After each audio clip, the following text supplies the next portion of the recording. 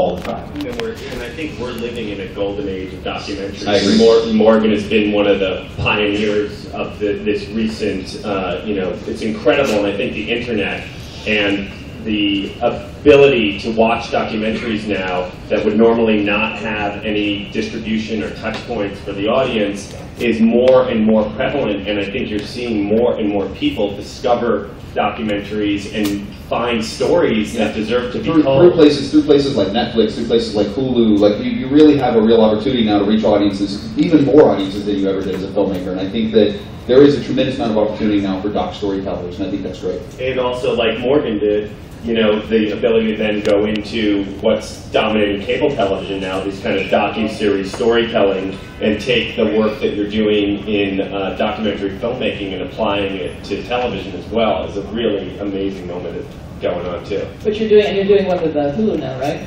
We're doing a series with Hulu called A Day in the Life, which uh, the second season is airing right now, where we, you know, follow somebody from the minute they wake up to the minute they go to bed, show kind of 24 hours in their life. And we're doing a series for Yahoo called Failure Club, where we follow seven New Yorkers over the course of the years. They kind of chase these dreams that they've always wanted to kind of achieve, but have been too afraid to try. And what this little group does, it gives them kind of just the courage to, to do it. It's like a little, you know, dream support group. It's great. Great, great, great name for that dream support group.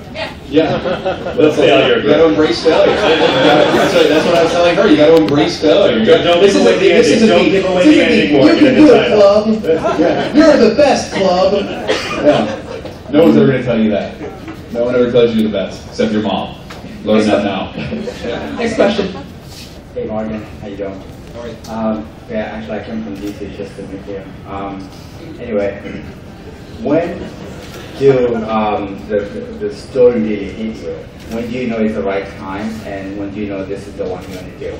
Uh, I mean, for me, it's like uh it's a question like when do we know it's the right time? And, you know, this is the only one to do. For me, it's the, the minute we hear an idea that we really like and respond to it, then we're like, that's we should definitely tell that story. And when uh, you know when Ben called me and said he's working with Will and Jason, he said, would you like to meet with them and talk to them about doing a film that looks at kind of you know manscaping and male grooming? I like literally burst out laughing. I was like, this this is great. I was like, yes, we have to we have to meet with these guys. And once I sat down with Will and Jason, and it was Will and Jason, myself and Jeremy, and uh, we got to talk about what would this movie be, what would we show, who would we follow, what kind of characters would we look at. I was like, we have to make this movie. Another question? Uh, hi, yes, uh, my name is Mike. Uh, my question is, uh, do you have any particular preference or particular brand when it comes to when you're grooming?